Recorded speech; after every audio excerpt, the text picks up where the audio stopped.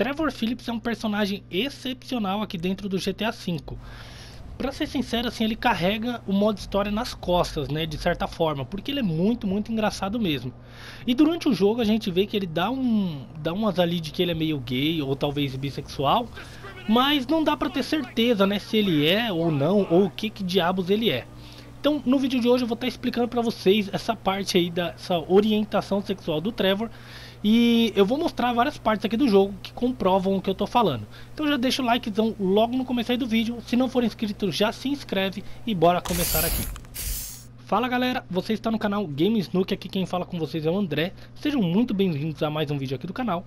E bom, coisa que todo mundo aqui já sabe, pelo menos todo mundo que zerou o modo história, é, a Patrícia Madrazo, ela tá com o Trevor, né? O Trevor é apaixonado por ela.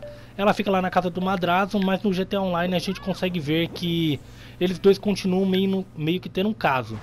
E depois que você devolve a Patrícia lá pra casa do Madrazo, eles ficam trocando e-mails, né? Que aí você pode ficar respondendo esses e-mails. E nesses e-mails, tanto ela diz que ama o Trevor, quanto o Trevor diz que ama ela. Além disso, tem mais uma parte do jogo em que o Trevor dá em cima de mulheres, né? Uma só não, né? Tem várias. Tem a mulher do Triaton, né? Tem quando ele quer que o Franklin dê uma cantada na Molly para ele. Para quem não lembra da Molly, a Molly é a secretária do Devin Weston. Enfim, eu vou mostrando essas cenas aqui, né, para vocês, quem tiver esquecido, já ir se lembrando, demorou? Mas a Patrícia Madrazo é assim, de longe, a quem faz a gente acreditar que realmente o Trevor é, não é gay, né? Que ele gosta de mulher normal mesmo. E eu dando uma pesquisada na internet, eu acabei descobrindo que o Trevor, na verdade, ele é considerado um pansexual. Ele não é homossexual, não é bissexual, ele é pansexual. E eu vou explicando para vocês do que, que isso aí se trata. Na missão Vigilância Aérea, a gente vê ele conseguindo dar uma cantada na mole também. Ele não, né? Ele pede pro Franklin dá uma cantada na mole para ele, né? E o Franklin, ele meio que pula fora. vou mostrar essa cena aqui para vocês também. Olha só que da hora. Shit, I think they both gonna be there, dog. Devin and Molly. Say hello from me to Molly. Man, I ain't hitting on nobody for you, man. Least of all her. God, why not? It's about time I settled down. Shit, man, you need like a lion tamer or some shit. This girl, man, she got balls, dog, but she needs some serious stones to handle your ass. Just say hello. man, I ain't gonna be a part of that. After everything I've done for you, ah, you are just like Michael. Dá pra ver ali que realmente ele é bem doidão. Só que quando chega aqui, por exemplo, tô mostrando um evento aleatório. Não sei se vocês lembram, mas esse é um evento aleatório onde os personagens fazem um chebe-chebes no carro. E o Trevor ele dá tanto em cima da mulher quanto do homem. Dá só uma olhada nas legendas. Hey, what are you crazy kids doing back there? I tell you what, while you're sweeping the front porch, why don't I work on her back plumbing? Huh? What did you say? How about I suck those kidney stones right out of your balls, big guy? Get this party really started. Uh, wow, wow, okay, man, it's cool. Você vê que ele se oferece para fazer das duas formas, tanto com a mulher, tanto com o homem. E eu já tinha visto, né? Já tinha reparado isso aí algumas vezes, mas eu achava que ele falava só pela zoeira mesmo. Porque o Trevor ele tem um estilo dele ali meio, meio lunático, né? Então dá a entender que seria só uma zoeira. Só que numa transição de cena, essa daqui eu nem lembrava, galera. Você vê que ele tá tentando testar produtos antes de comprar, né? Só que quando você olha pra loja, que ele tá tentando testar os produtos, é tudo roupa íntima feminina, mas aquelas bem Tipo, mano, não existe cabimento para um homem, né? Que seria um homem hétero, usar isso daí. Aí eu fiquei assim, eu falei, velho, eu vou dar uma pesquisada mais a fundo. Um pansexual, galera, ele ele se envolve com homem, né? Ele também se envolve com mulher, só que o cara ainda vai além. Principalmente no caso do Trevor, que o Trevor ele é meio chapadão da cabeça. Eles gostam de homem, de mulher mas eles gostam tipo de travestis, de trans, eles gostam de todo tipo de gênero humano. O que tiver na frente, ele ele vai atrás, ó. A gente vê nessa cena aqui ele também dando em cima do mendigo. É outra transição de cena também. E tem outras, né, também que dão a entender essas coisas. É, tem aquelas que ele acorda com vestido na montanha, né? Então tem uns bagulho assim meio meio nada a ver. Mas o que eu achei mais engraçado, galera, é principalmente quando o Trevor tá dando em cima do Lamar nessa missão aqui. É que eu nem lembro o nome dessa missão exatamente. Mas o, o Franklin chega fica em choque. O Franklin não, o Lamar. Fica só vendo. O Franklin ele dorme, né? E o Trevor começa a dar em cima do Lamar para ver se o Lamar faz uns paranauê pra ele. O Lamar fica com medo dele, se liga. Yeah, scooch over here. Scooching in that crazy dude? Oh, hell no, that nigga stink. Get over here. I don't bite. That ain't what I heard. Cannibalistic and shit. Frank, what you been telling him? I say what I see, homie. You dig on man meat. Ah, rumor and hearsay. We got a long way to go. I'd get comfortable. All right, nigga, but don't try nothing. How far is it? In this thing? Yeah, about four hours. Shit. Homie, for a dude that kills dudes and eats dudes and fuck dudes, you talk fruit. It's unconfirmed. What's unconfirmed? The fact Said that. But if he was dead, you'd be Não, e você vê que o, o próprio Lamar já sabe e o Franklin também sabe das pataquadas do Trevor, que ele dá em cima de mulher e de homem.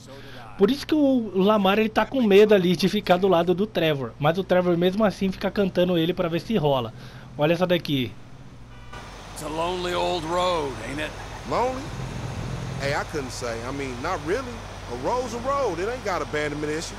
Truckers on the blacktop, making do.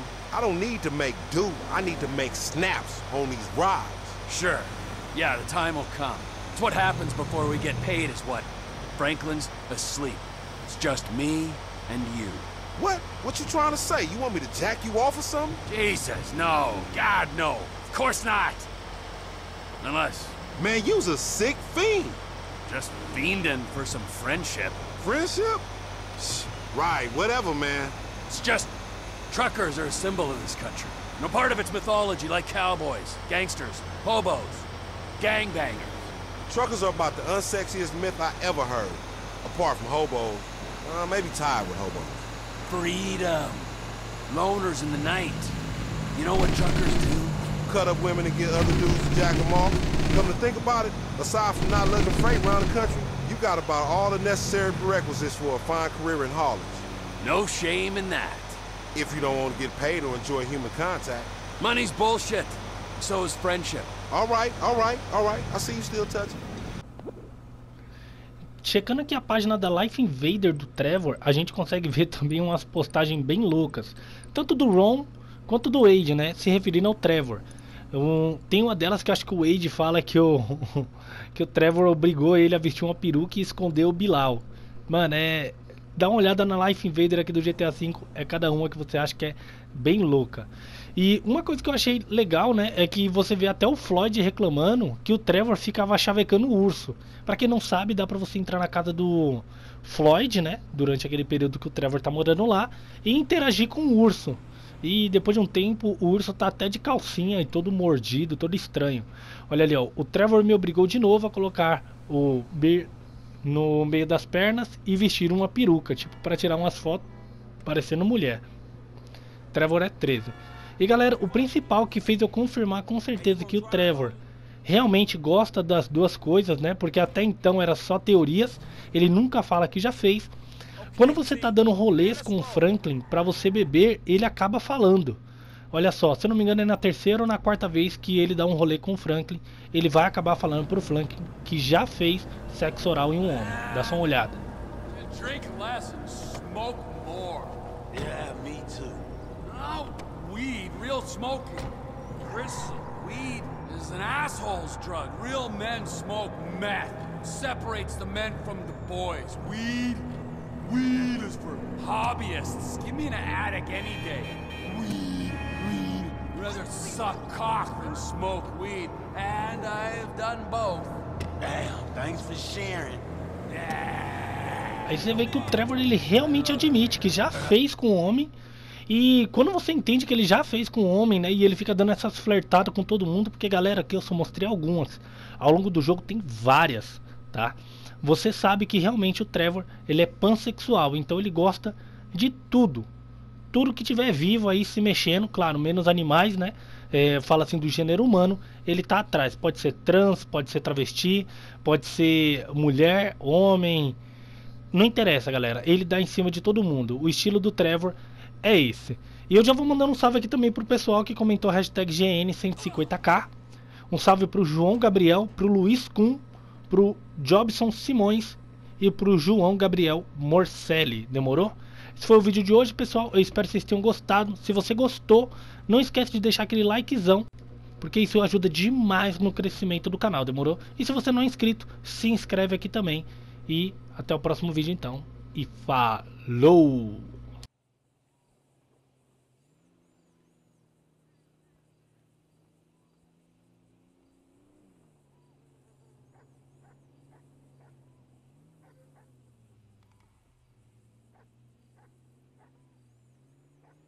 Oh shit, the fucking train!